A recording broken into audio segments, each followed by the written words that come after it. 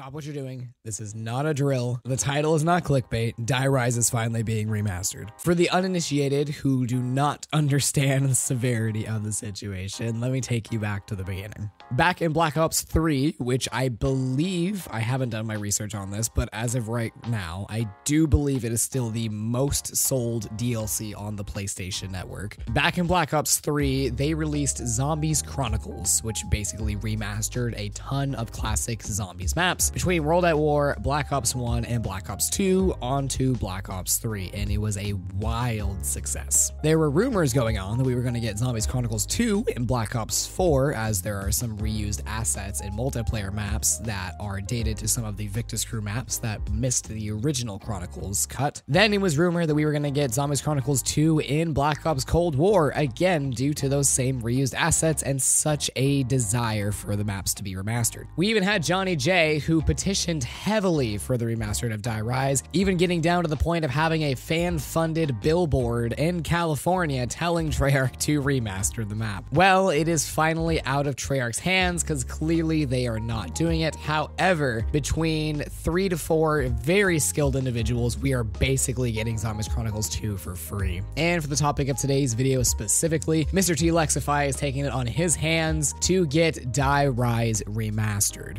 I believe his video in the description below for those of you who have additional questions about Die Rise Remastered, as he does go in detail about certain things like the Easter egg quests, the timeline, the Sliquifier, etc. But basically, this is not a drill. We are finally getting Die Rise Remastered, and 2023 is looking like it's going to be a great year.